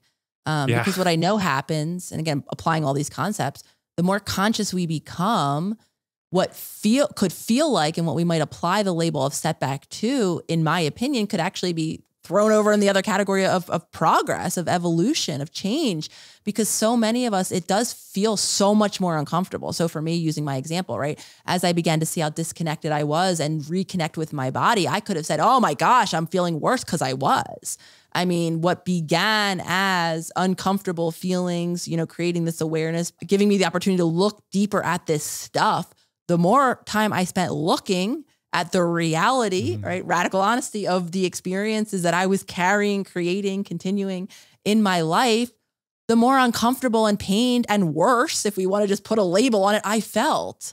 So again, I often like to even challenge because so so many of us could say, "Oh, I feel worse now. I'm going backward." And in reality, what is happening for a lot of us is we're just becoming consciously aware Yeah. and present to how it's been. We've just gotten so savvy at distracting ourselves with the endless life and stimulation around us. Or again, we're so locked and loaded with those blinders on of our autopilot that we're not even aware of what's been going on or what has actually been trapped in our body all along. And if we want to, another word I think I want to say that I'm still living into myself is, in my opinion, what I'm coming to realize is that life is about that word that we just keep saying progress. It's about evolution. I don't actually think, I used to call it um, my proverbial hippie hammock in the sky that I'm just like looking for it, this like done, this sacred place of doneness. Um, D O N E is the word that I'm I'm pronouncing here. So where is that? I haven't found it. I don't know if there is that end point, No. that finish line.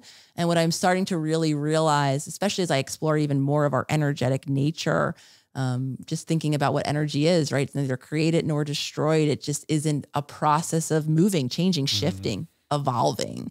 And again, back to the human existence, I think that's uncomfortable. We love certainty. We love an endpoint. We love a goal. Yeah. We love concrete. Um, for even some of you, I'm sure it feels challenging maybe to even hear me say we're a process. You know, yeah. we're an evolution, we're an energy, we're movement, we're not ending point stagnation at all. And again, going back to, I mean, even just like idea of progress of life itself, um, the more comfortable because I I loved endpoints. I love yeah. I love to-do list and I love getting to complete. And something again I've learned about that to-do list and to speak to your point of me even sharing my daily challenges. It's in these moments where I am busy, even for exciting things like new books and yeah. opportunities and conversations I can have with incredible people like you. So close to the surface for me is that overachieving self that wants to just embody that role and forget about everything else I just talked to you about for an hour and a half my body, the daily self care. Yeah. For me, the more busy and more opportunities I have to perform, the more easier it is for me to forget yeah. about the wholeness, about the foundation on which I, the person who, yes, I still inhabit the role of conversation, of teaching, of sharing, of writing books, but that's not all that I am. No. I can feel loved and enough, right? Just as I am now. So again, I share that to also offer how some sometimes, right? It's not even just feeling like we're setting back and it's not yeah. even a negative place we shift back into. For me, again, it can be very confusing, very validating, right? Well, who needs my body? I'm achieving and I'm going to put out another great book and give me the next project. And again, validation from outside but what I have learned is if I don't stay committed to the human that's embodying yeah. these roles, the foundational, you know, peace and regulation and safety that I need to be truly who I am, that it's only a matter of time before I fall right back into that immature yeah. reactivity. And again, I start to feel the impact of that.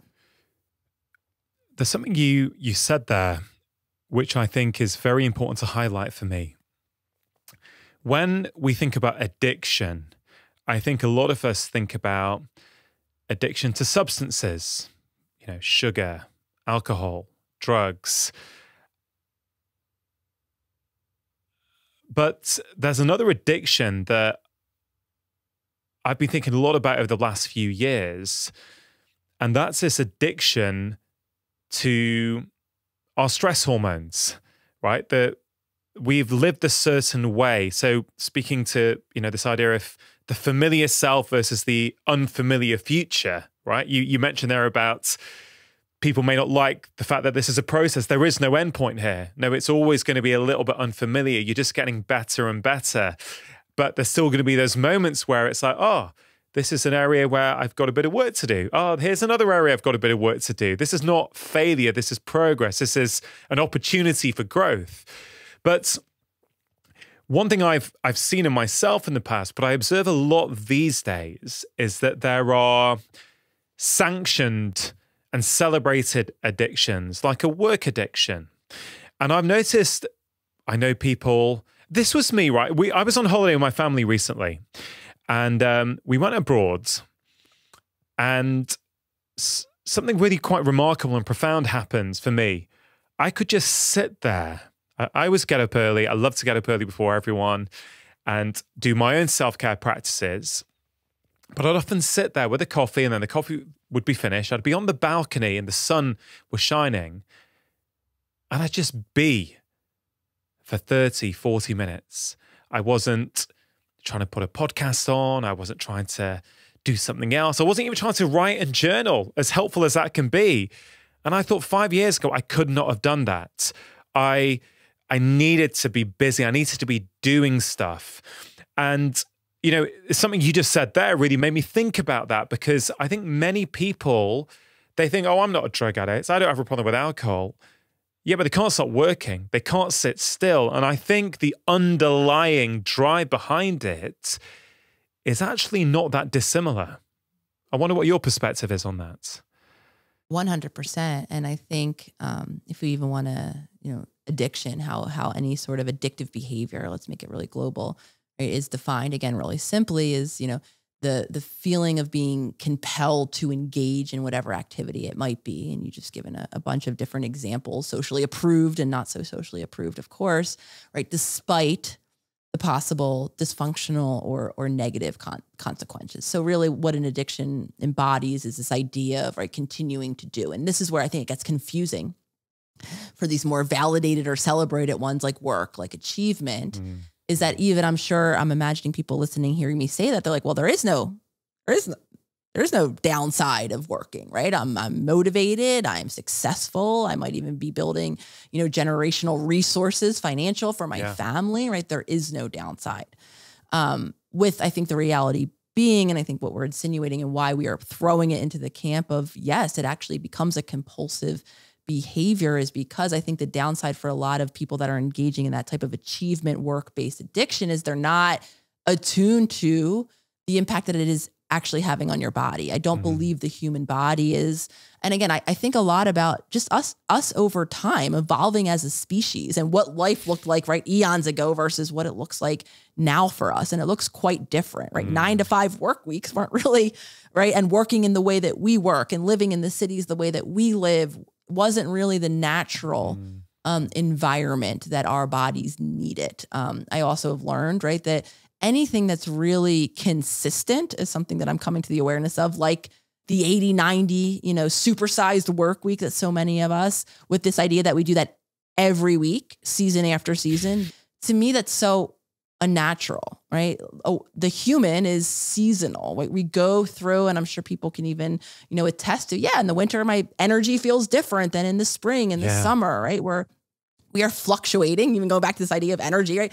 We are moving, fluctuating creatures. So, even for the many of us, again, who have been celebrated by these endless working achievements, again, I could make it an argument that the the consequence often again is is exhaustion is overstepping emotional mm. limits is what aren't you tending to now possibly or putting your time and attention on because it's all going devoted yeah. right to work and more so is there any other way? Because what I view addiction or any of these self regulating behaviors is an attempt to do just that yeah. to relieve suffering, to relieve pain, to help my, me feel a bit better or to navigate. Maybe it is the stress hormones that my body has gotten so used to.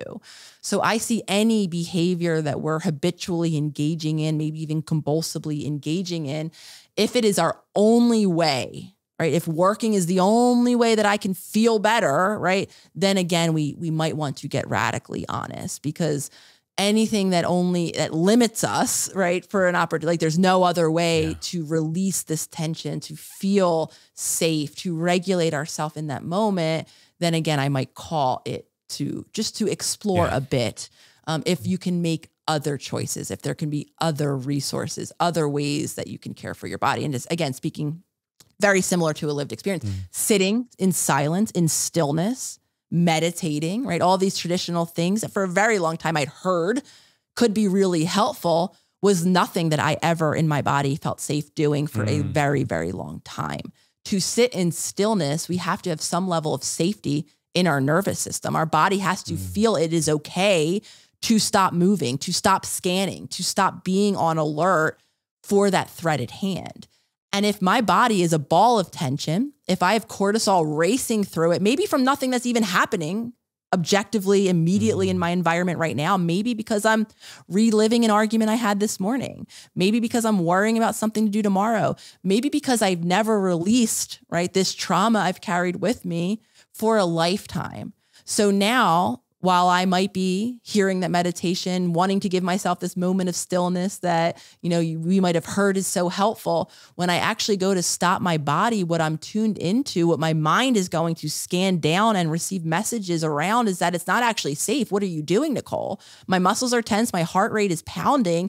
There's something threatening. No, yeah. absolutely. You can't stop right now. You got to get your ass moving and get away from this problem and and or constantly race in your mind, right? If my body is sending a message that I'm tight, that I'm threatened, that I'm stressed, it's only a matter of time that my mind is going to need to make sense of why my body is so stressed. So if we really want to simplify this conversation, there's so many of us who can't just sit still, yeah. just relax, just meditate.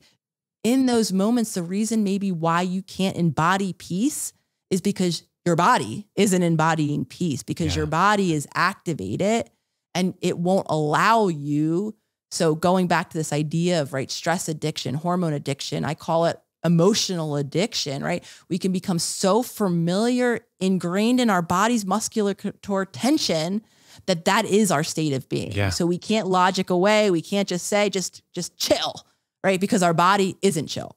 yeah. It, that is such an important point you've raised because I think a lot of people end up feeling bad where they hear about solitude or meditation or mindfulness and go, I can't do that. I've tried, I can't do that. Mm-hmm. But you just beautifully explained that it is a process. And that's a beautiful part in this book where you write about this idea that actually you can't hack this process. You can't speed it up, nor would you want to speed it up. And I, I, I think that's a really beautiful sentiment for people. The process is where all the gold is. You get all the discoveries along the way. You kind of don't want to go from A to Z without passing through B, C, D, E, F. Do you know what I mean? Even though in the moment you may think you you want to get to the end point, the goal is actually by going through that journey, I think.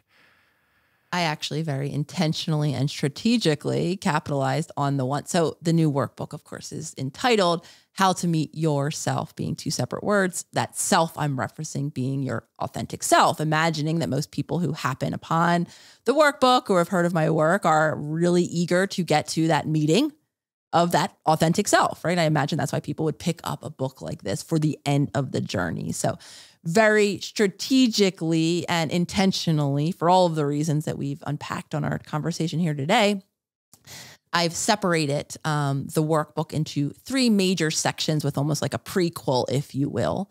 Um, and the yeah. prequel is all about, and I'm sure by this point in the conversation, this might not be surprising to hear, creating safety and consciousness. How can I be conscious in my body? And what are some tools like this, the physiological side, breath work, because I think, as many of you have been listening, I hope are understanding how integral safety is. To be in a safe body really then does allow us to begin to explore mm-hmm. deeper feelings, deeper wounding that we're bringing from our conditioning, and ultimately, eventually allows us to then meet our authentic self. So while I'm very aware um, that once you progress through resourcing yourself with safety creating tools, we enter into the realm of the body for everything that we've talked about mm. because it is so foundational. Because so many of us are living with dysregulation, sending those signals to our mind. Once we build in that foundational reconnection to our body, begin to meet our body's needs, then we progress, peeling back the next layer which is in terms of our mind and all of the beliefs and our inner child and our ego and our shadow and everything that's living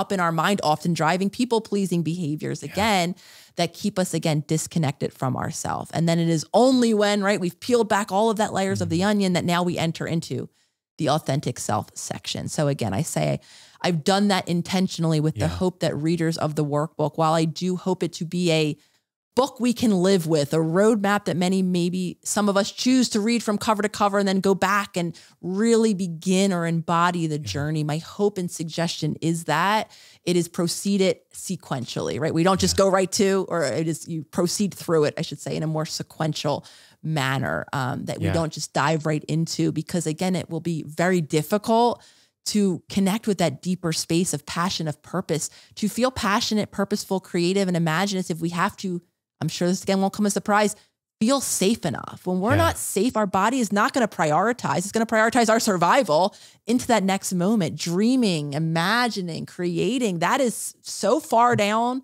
on our priority list that we won't be able to connect. So even those of us who try to skip through to section three, um, again, acknowledging yeah. how important it is to peel back all of that onion and to go back to something about that porch that's striking me that I just want to offer here now my opinion, I'm of the opinion that our goal, when we peel back that onion and create these moments where we can attune to what we really want and who we are and meet our authentic self and then be that person in the world, that's the goal, I believe, mm. for our human existence, if you ask me, but hopefully um, the goal for this workbook.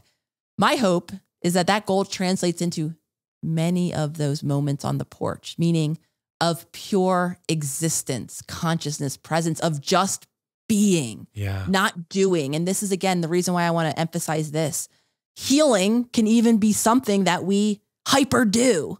right? There's so many of us that I've heard, right, that won't, won't allow that moment on the porch where I'm just staring off into the distance because I might assume or assign that that's that's that's not me healing. I'm not being accurate. I'm not really getting down into it. Mm. In my opinion, the goal is actually to have more moments. Yeah. That is life. Life is live in each little present moment, shift, change that's happening here now. It's not being hyper focused, hyper analysis of my thoughts, hyper, you know, viewing myself in every given moment, always thinking I should be doing something different.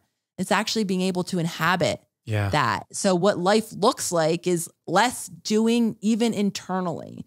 Again, I see so many people that are like, Do you ever take time off, Nicole, from healing? I'm like, That's the goal is to just always be right in Yeah, that state of know, I love pure presence. The goal isn't healing, isn't hyper focused, hyper analyzing, hyper judging, hyper criticizing, even hyper doing internally either.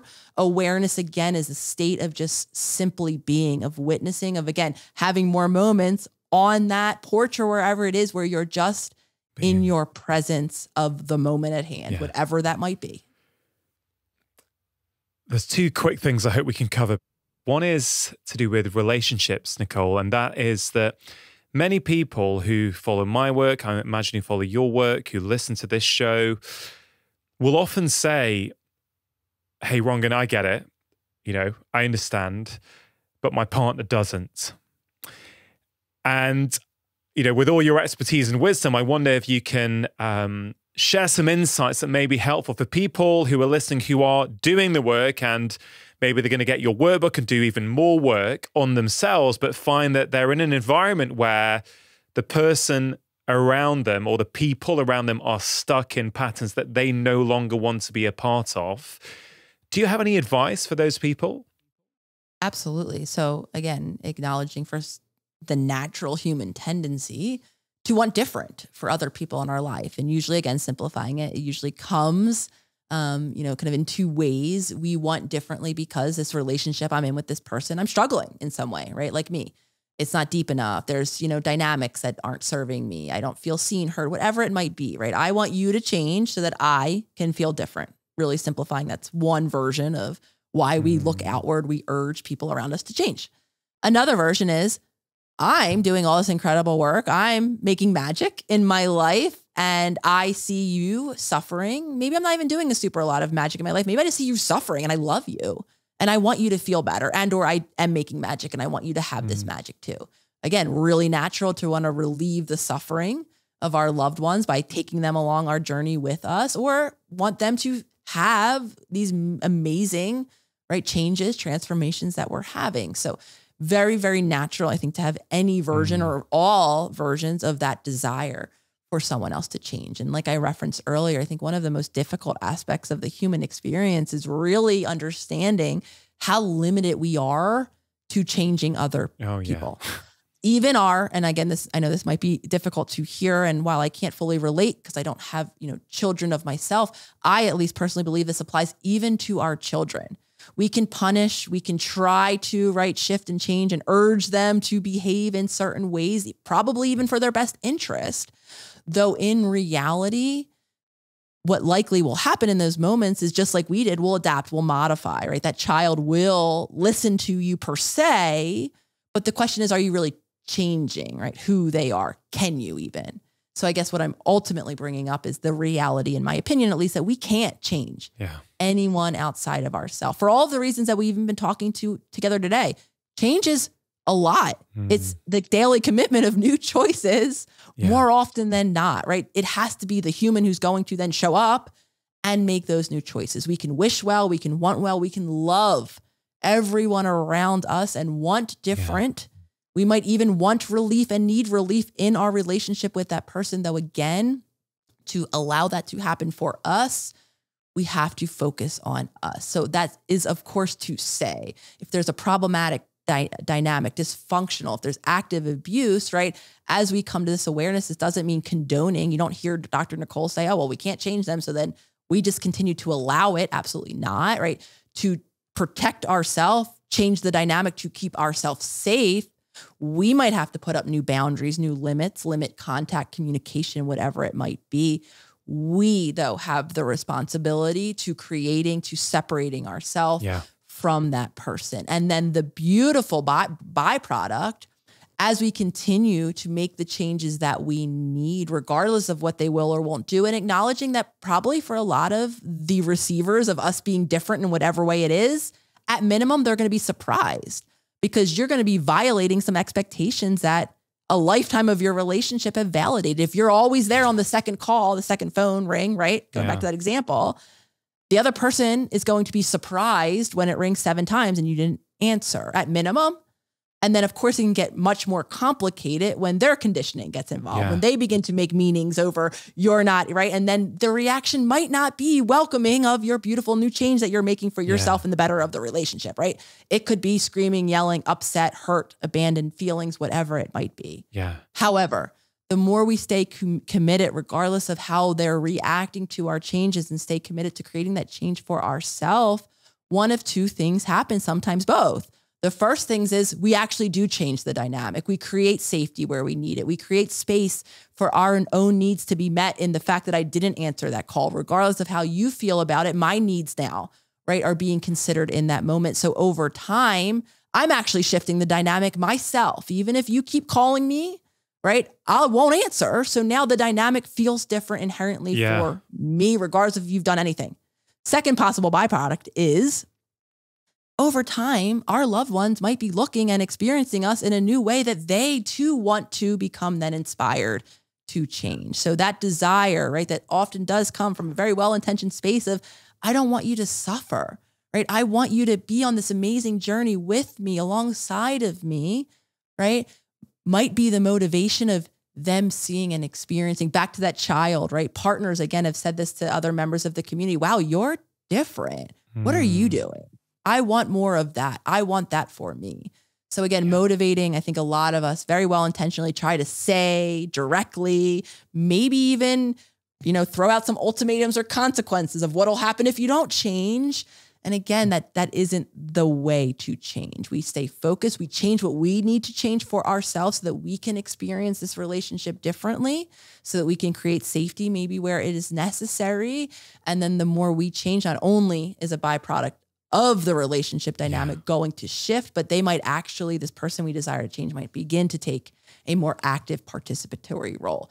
And if they don't, again, as I always say, everything that's happening around us is always information, something we can learn to make then a different choice next time with how we continue maybe to navigate that particular yeah. relationship moving forward. Really, really powerful, very, very helpful, Nicole.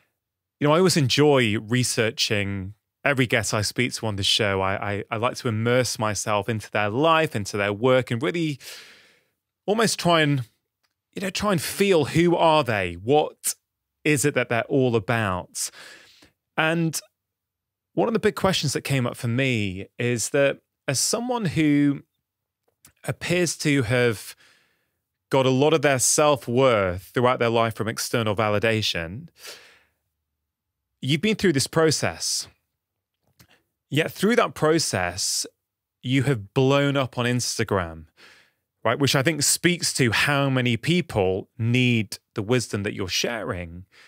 But now you're in a situation where, with what is it, over 5 million followers now, maybe even more, you are probably getting levels of external validation daily that very few people get. So, what I'm interested in is how do you manage that? That appears to be a trap or a potential trap for you based upon your past. For me, it's really fascinating to say, well, what do you have to do to make sure you don't fall into that trap of getting your self worth again from the validation that you are absolutely getting on Instagram? I really appreciate um, this question, and it's really interesting to think about. So, um, interestingly enough, um, while external validation has very much been that point of connection, right, to my mom in particular, um, there's always been a part of me that's felt really uncomfortable, vulnerable with showing myself publicly. So outside of performing, say, for like softball type instances in a much more controlled setting where mainly I was looking to be celebrated by my mom, I was incredibly, incredibly shy. Um, and I never, I mean, public speaking, the fact that I even like have individual eyes on me, right, as an idea, as a concept. I I was the little girl, the adolescent, the teenager who was hiding usually in the back of things. Mm. So saying that to say um, that while again external validation for me, it was really the point of contact being my mom, those closest to me. When I thought about a more global, more public appearance, it was inherently really scary. And the reason why I'm sharing this is when I made even the decision to create that Instagram account, which was the first account that I went up as the holistic psychologist, some like three plus four, Jesus, four years ago now. I even forget the year I, that was created. Um, it for me was an exercise in my own healing journey. And what I mean when I say that is I had come to the awareness again that people pleasing comes very much into this um, that I had learned so much how to perform in different ways in my relationships, not only just in succeeding, being of service, being the friend that I thought you wanted to be, being the person I thought you needed to mm-hmm. be.